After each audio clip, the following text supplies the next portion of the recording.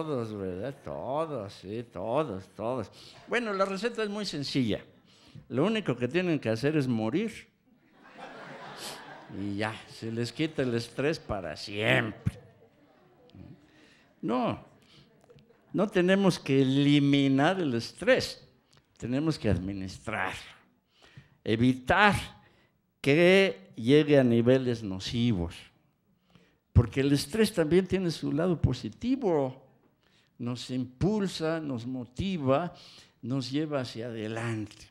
Si no tuviéramos un cierto grado de estrés, estaríamos en un nivel vegetativo, en un nivel de... Perdón por la palabra que voy a decir, ¿eh? pero creo que es, eh, ilustrativa.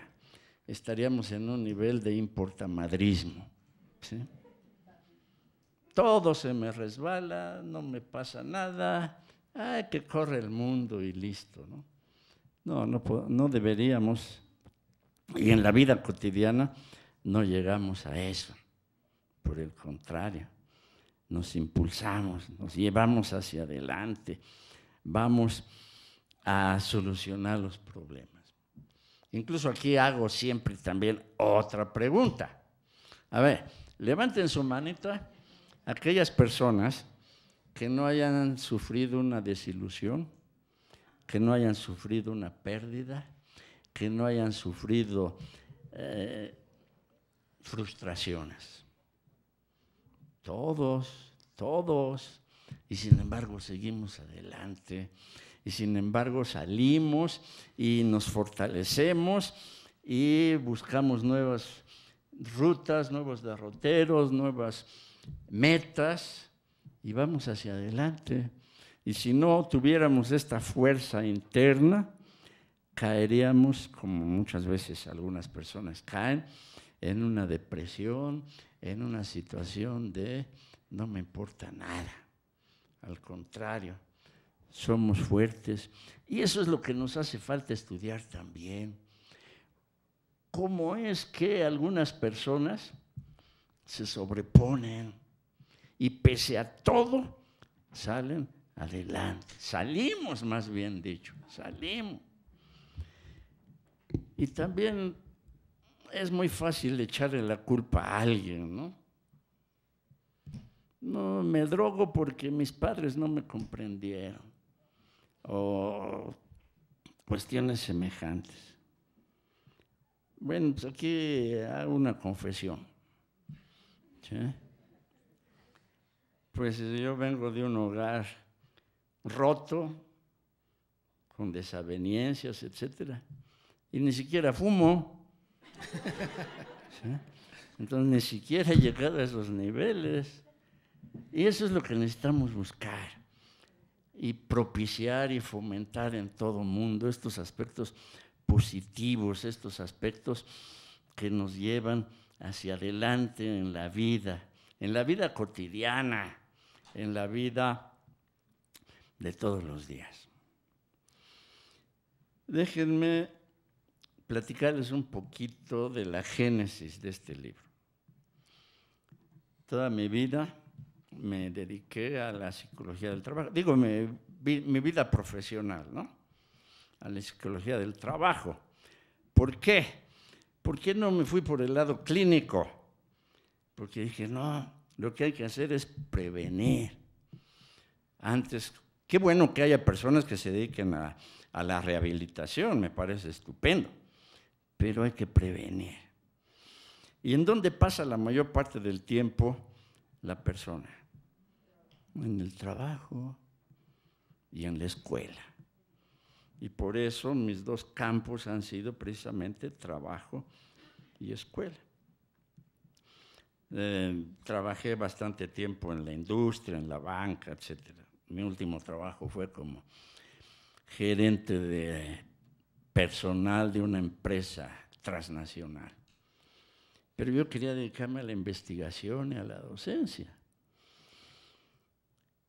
Y por eso Después dejé mi carrera de ejecutivo para dedicarme a la academia. Y aquí he permanecido. Y dentro de todo esto, con la experiencia, también llegué a otra conclusión. Cuando hablamos de psicología del trabajo, de psicología, perdón, de salud ocupacional, etcétera, pensamos frecuentemente en empresas, en organizaciones del sector público, del sector privado. Pero nos hemos olvidado de áreas de personal que tiene una repercusión trascendente en la vida del país que son precisamente los docentes y el personal de salud. Entonces dije, vamos a enfocarnos hacia ellos, a conocernos, a acercarnos más a sus vivencias. Porque, pues, forman parte de la columna vertebral del bienestar del, país. Entonces vamos a acercarnos. Y por eso he impulsado este tipo de investigaciones, personal de educación, personal de salud. Y seguimos avanzando en este campo. Y como dijo Arturo, hacemos la invitación a todos los que quieran participar para unirse a estos esfuerzos. Aquí tenemos a personas que han colaborado. Silvia Vite está aquí presente está también Alex Mendoza, en fin. Y claro, participaron directamente, pero también tenemos personas que han participado indirectamente. Uno de los eh, amortiguadores del distrés, es decir, del estrés negativo, ¿verdad? Es la relación interpersonal, el apoyo el amor. Por eso aquí está mi esposa, a quien le doy las gracias por su apoyo, porque es mi... Perdón, se me quiebra la voz de la emoción. Porque es mi esposa, es mi amiga, es mi compañera. Bueno, tengo que decirlo también, es mi amante.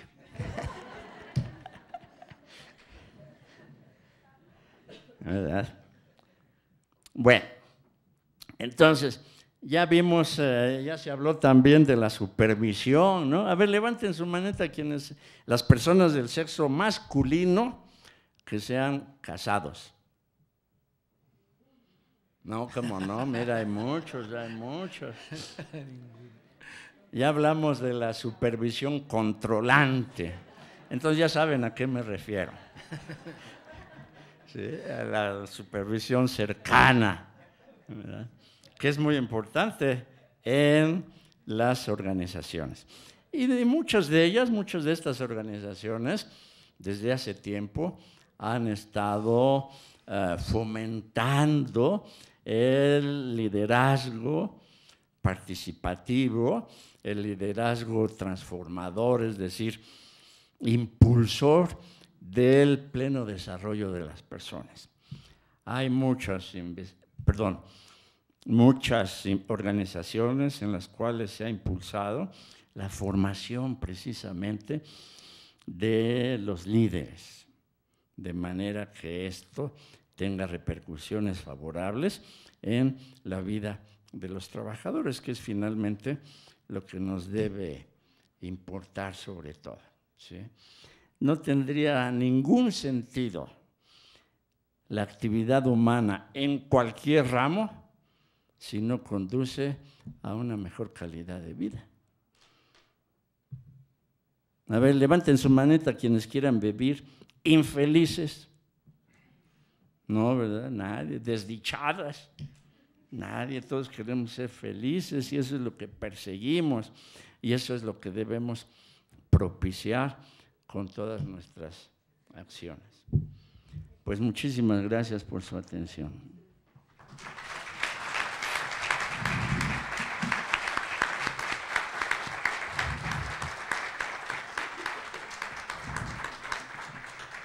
Muchas gracias, doctor Fernando Arias.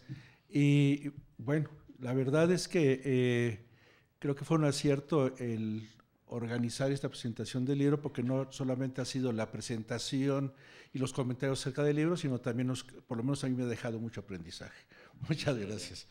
Eh, le voy a pedir a, Arturo eh, que nos haga alguna propaganda con respecto de la red y con respecto del Congreso, por favor.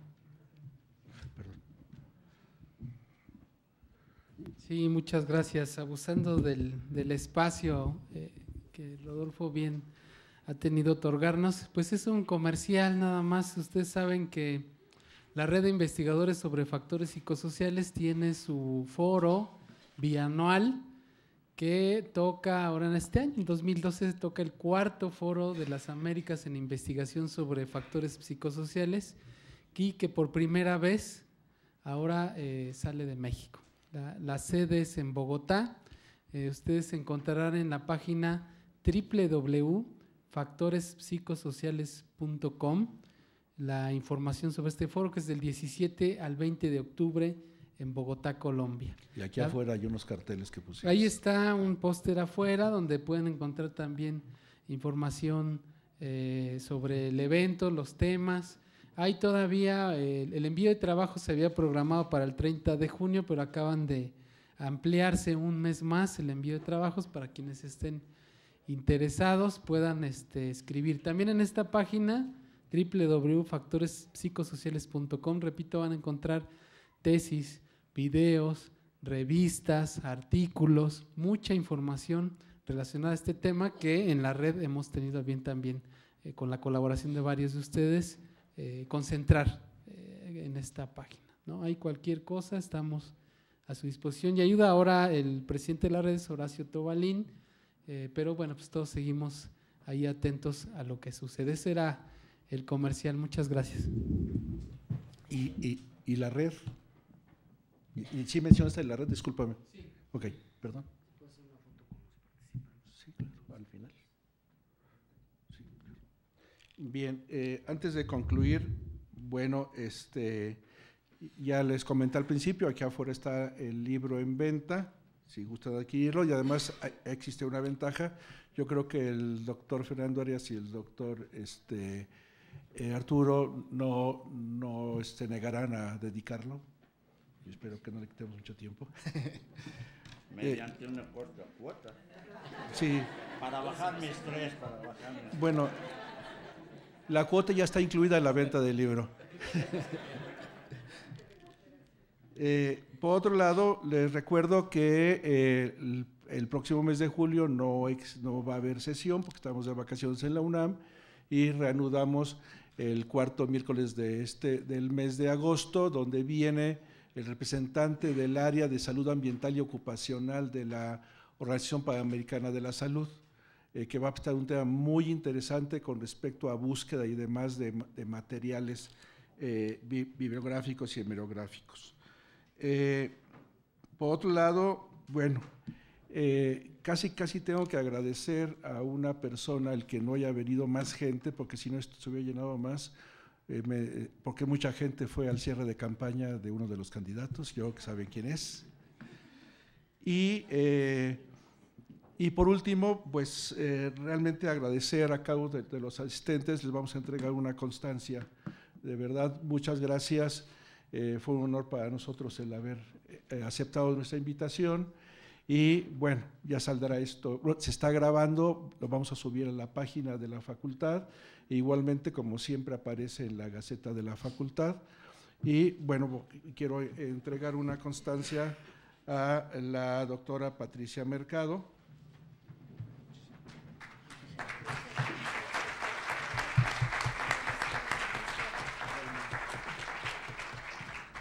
a eh, el doctor Felipe Uribe.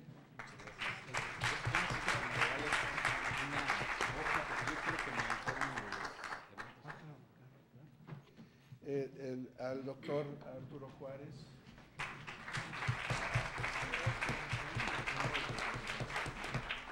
Y por último, de, y por último desde luego, al doctor Fernando Arias, que de verdad muchas gracias por haber aceptado Gracias por la invitación. Bien, pues muchas gracias. Eh, le repito, afuera está el libro a la venta y nos vemos dentro de un par de meses. Hasta luego, gracias. Felices vacaciones. Quienes se vayan de vacaciones. A los autores presentes.